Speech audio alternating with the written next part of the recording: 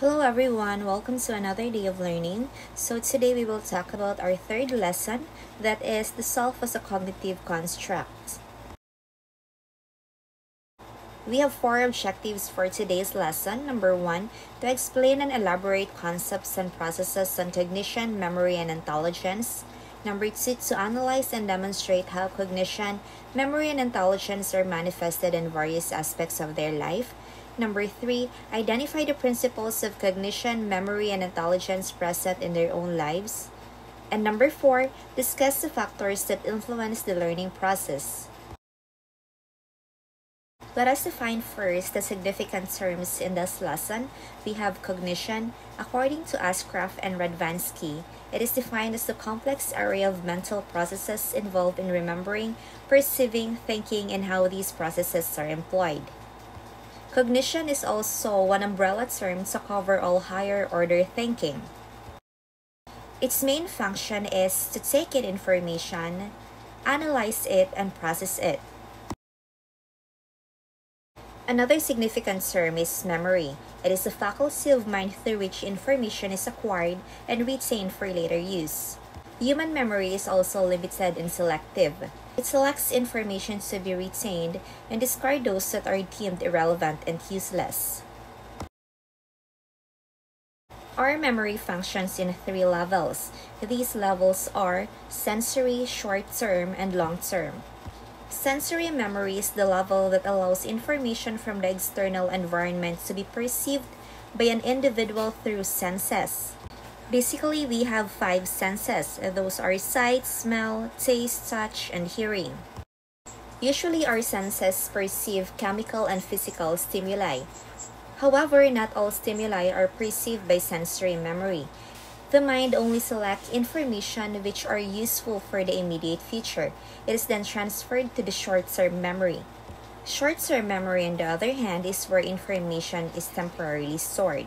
It is also where information is simultaneously remembered and is in readily available state. Typically, the information is stored from 10 to 15 seconds up to 1 minute. Short-term memory can only store 5 to 9 items after which the information is discarded if there is no conscious and deliberate effort to retain it. However, when there is a deliberate effort to store information and is done consistently and with practice, then this information is transferred to long term memory. Information stored in long term memory is often permanent and it allows for repeat retrievals across situations. And the amount of information that can be stored in this level is limitless and immeasurable. Intelligence is an individual's capacity for understanding, learning, planning, and problem solving with logic, creativity, and self awareness. It is characterized as the application of knowledge to be able to adjust to the environment. It is also the process of applying knowledge in the proper context whenever the need arises. Intelligence is also often thought as a hereditary rather than environmental. So if both parents are intelligent, there is a great possibility that their offsprings will also be intelligent. Two things should be noted about intelligence. First, individuals are born with innate intellectual ability that is harnessed in various contexts. And number two, intelligence is not confined in the academic context. The Howard Gardner's theory of multiple intelligences poses eight areas of human intelligence. First is the verbal linguistic intelligence. It is the ability to analyze information and produce output that involves oral and written language. So if you speak persuasively and fluently about an idea, you may have this kind of intelligence. Second is mathematical logical intelligence. It is the ability to understand and answer mathematical questions.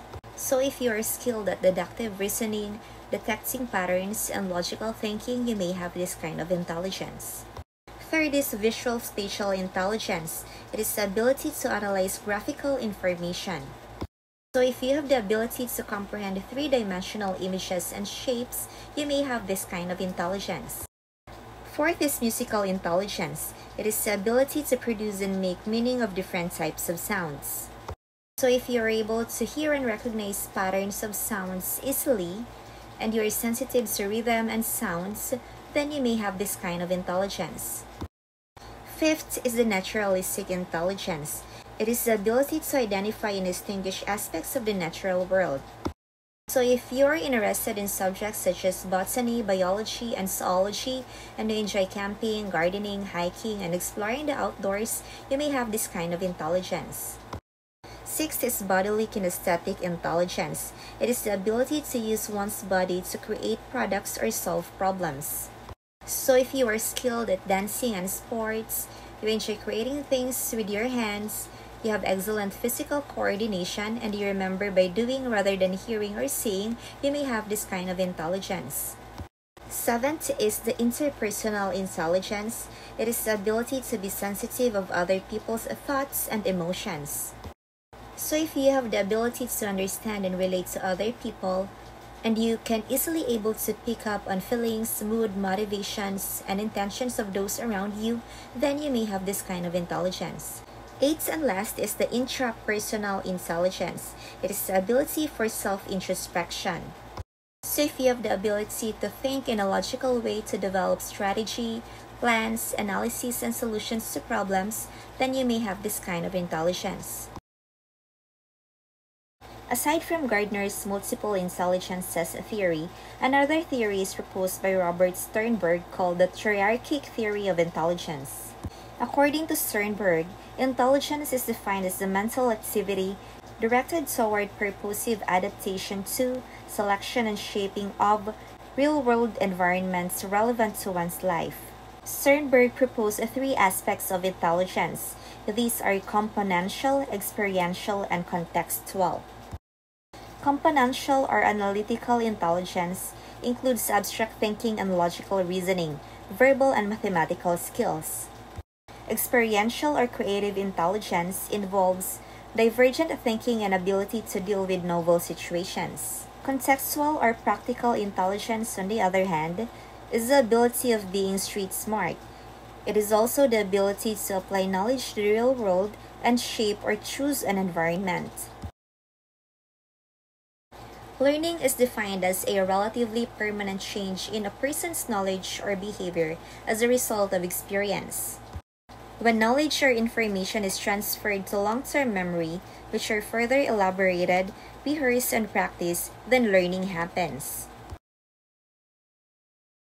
People learn in many ways, and several theories and models have been forwarded to understand and explain how learning occurs. One such a theory is the social cognitive theory, which emphasizes the value of social environment in one's learning process that is built on observational learning. Based on this theory, there are four stages in observational learning. First, attention, second, retention, third, motor reproduction, and fourth, motivation. According to the social cognitive theory, attention happens when an individual focuses on information that he or she perceives to be interesting and useful. Retention happens when an individual stores and gives a mental representation of the information. Motor reproduction happens when an individual recalls and rehearses the information given. And motivation happens when an individual repeats the entire process constantly and consistently. An example is solving a difficult mathematical problem. On the first stage, the student listens to the math teacher. On the second stage, the students read books and memorizes the formulas and principles to be used. On the third stage, he practices solving different equations. And the fourth stage, he does this over and over again to learn how to solve the mathematical problems accurately with ease. The notion of learning is underlined by notions of self-efficacy and human agency. Self-efficacy is defined as the extent to which people believe that they can confidently learn and master a particular skill. When an individual has high self efficacy, he or she is likely to engage in challenging tasks and deal with frustrations and disappointments efficiently. In contrast, people with low self efficacy are likely to avoid difficult tasks because they lack confidence, which further contributes to them having low self esteem. Thus, self-efficacy is a crucial factor in one's learning. And according to Albert Bandura, self-efficacy can be developed through the following. First, mastery experience by accomplishing simple tasks that lead to more complex tasks. Second, social modeling by observing an identifiable model who accomplishes the tasks. Third, improving physical and emotional states by being relaxed and calm before pursuing a challenging task. And fourth, verbal persuasion by providing encouragement and feedback during the accomplishment of a challenging task. An example that illustrates self efficacy would be a learner who is doing a particularly challenging writing assignment. If the learner is already has an experience in similar tasks, looks up to a mentor, allots sufficient time to the tasks, and is constantly encouraged, he or she will probably high self efficacy. On the other hand, facing the same situation, a learner who has no prior experience in writing, has no model to look up to, is always stressed and pressured by the deadline, and receives no positive feedback in accomplishing the task, is likely to have low self efficacy in writing. Apart from self efficacy, human agency is another valuable principle in learning process. People are not products of inner forces or environments. They are self regulating and proactive. It means that people influence their own environments by their characteristics and behavior. People influence other people and they influence social groups in attaining benefits that can be experienced by many. Thus, in the learning process, students are equally accountable for their performance as much as their teachers. Although educators are largely responsible for shaping the learning process, students themselves can also take hold of their own learning process through self regulation. There are two strategies in learning that students can use.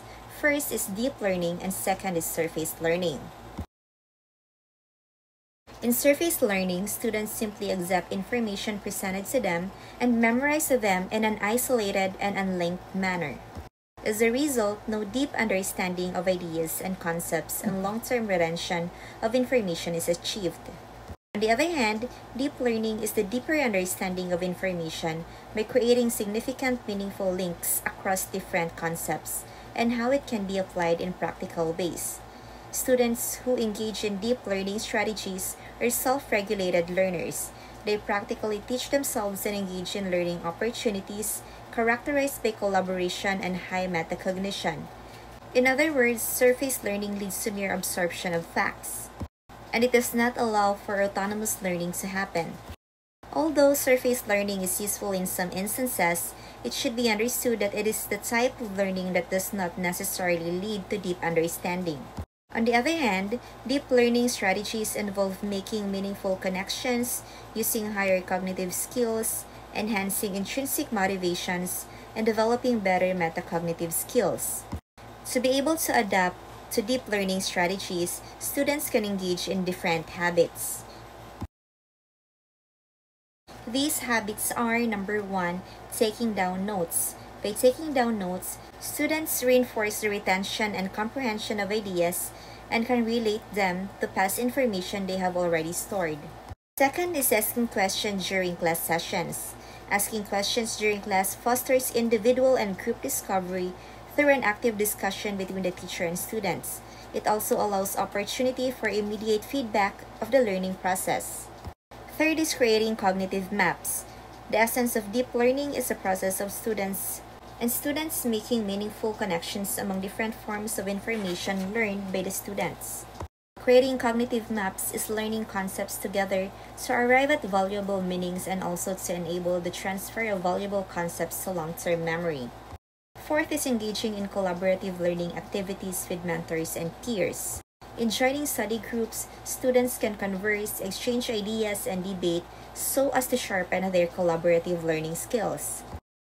And fifth is going beyond the mandatory course requirements reading additional reference materials, watching films that showcase concepts discussed in class, going on trips for an alternative learning experience, and engaging in other learning opportunities can greatly enhance the learning process.